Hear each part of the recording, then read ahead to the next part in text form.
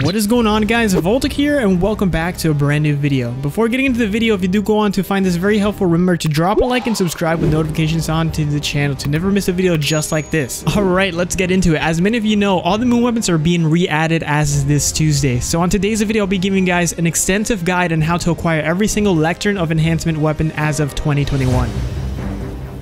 To start things off, I will be showing you a guide to get each weapon quest as fast as possible, in case you don't have them yet. I will also be providing timestamps for each one, so make sure to check out the description, just in case there's a certain one that you're going specifically for. If you already have all the weapon quests and you just want to know how to farm these things as fast as possible, once again, just skip ahead. So first off, we have the Arc Logic, a 600 RPM Arc AR, which drops from defeating HVTs in the moon. Opening up the chest it drops is what gives you the quest. Of course, it's never a 100% guarantee to just drop automatically your first try, so if you don't get it, just make sure to keep looking for HVTs. Nevertheless, let's get on to how to find the captive cord for this quest. To get the captive cord, go to Sorrow's Harbor and follow the path that I'm taking on the screen. Just keep going where I'm going and eventually I'm going to go to this little area and right there you should be able to see the captive cord. Of course, once you interact with it, now you're on to the kill part, so there you go. Next up we have the Loud Lullaby, a 120 RPM primary hand cannon. To acquire the quest, you're going to have to complete the entire Shadowkeep campaign until Eris Morn basically hands over the quest to you. Now that you've acquired the quest, you're going to be looking for something called the Necromantic Strand. So head over to the Sanctuary landing zone and follow the path that I'm taking on the screen. It's going to lead you to where the Necromantic Strand is. Once there, you're just going to want to interact with it and just now get eliminations and finish activities. For the next one, we have the one small step 140 RPM primary shotgun. To acquire the quest, you're going to have to complete the Nightmare Hunt Rage. Once you finally got the quest to drop for you, you're going to be looking for the Fangs of Shun'Gath. Head over to Sorrow's Harbor landing zone and follow the path that I'm taking on the screen which is going to lead you to the Fangs of Shun'Gath.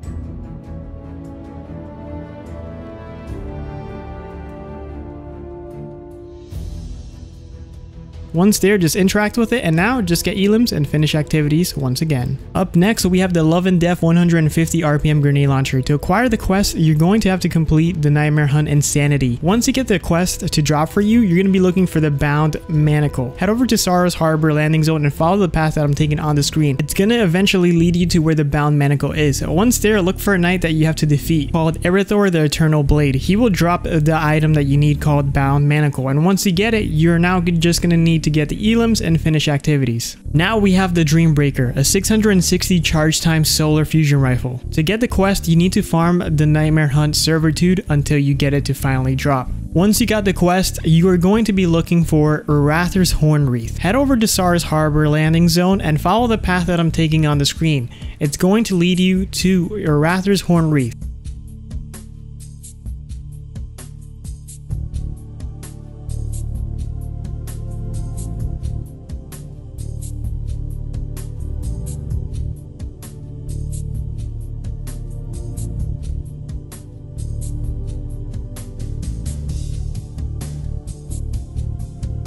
Once there, interact with the item and now you should just get elims and finish activities. For the next one, we have a Fine Memorial, a 450 RPM ARC LMG. To get the quest, it's going to be a random drop from bounties when you're doing them from Eris Morn. Once of course you finally get the quest to drop from Eris Morn, you're going to be looking for the Ethereal Charms. To get them, head over to the Sanctuary landing zone and follow the path that I'm taking on the screen, which will lead you eventually to the Ethereal Charms. Once there, just interact with the item and now you should just get elims and finish activities. Next up we have Every Waking Moment, a 600 RPM Void SMG. To get the quest is just a random drop from doing public events. Once you get the quest from doing public events, you are now looking for the Withered Plumes. Head over to Sorrow's Harbor landing zone and follow the path that I'm taking on the screen which will eventually lead you to the Withered Plume.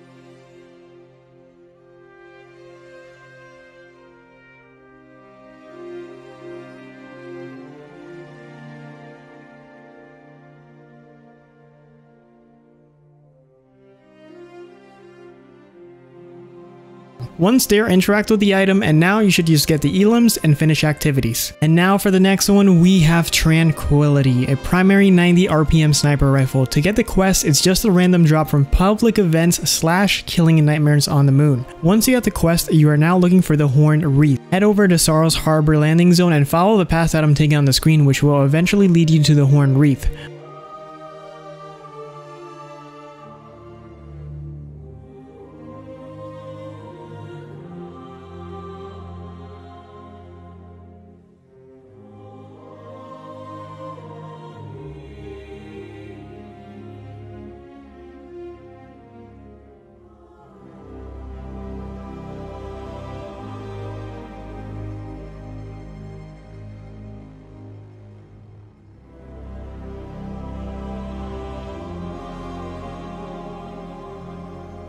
Once there, interact with the item and now you should just get elims and finish activities. Up next, we have the Night Terror, a Arc Sword. To get the quest is just a drop that's part of the Deathbringer quest when you're in your final Lost Sector K1 Revelation. At the end, there's a little area that you can use with one of your keys and open up this section that basically allows you to get a chance at getting the Night Terror. Once you got the quest, you're now looking for a Ralniks Hatchet. Head over to Sanctuary Landing Zone and follow the path that I'm taking on the screen, which will eventually lead you to Ralniks Hatchet.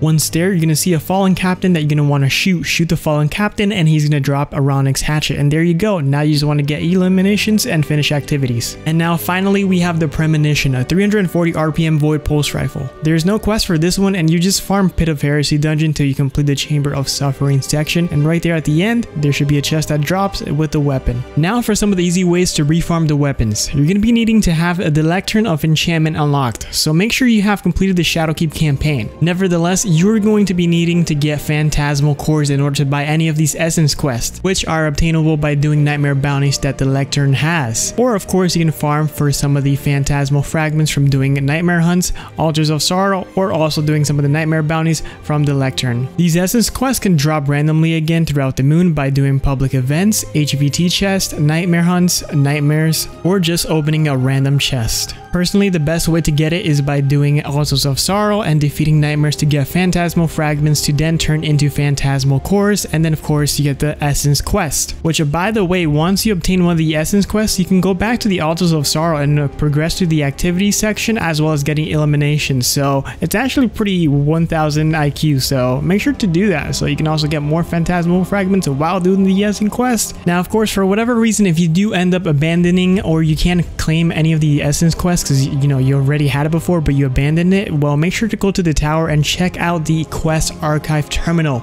It's probably there. But anyways guys that is a guide on how to get all the moon weapons slash the best way to farm them. If you go on to have any questions make sure to comment down below and i'll try my best to answer them as fast as possible. So drop a like subscribe and turn on notifications to never miss a video just like this and share this around to help any of your friends who are having trouble with this as well. So as always i guess i'll see you on the next video. Peace Peace.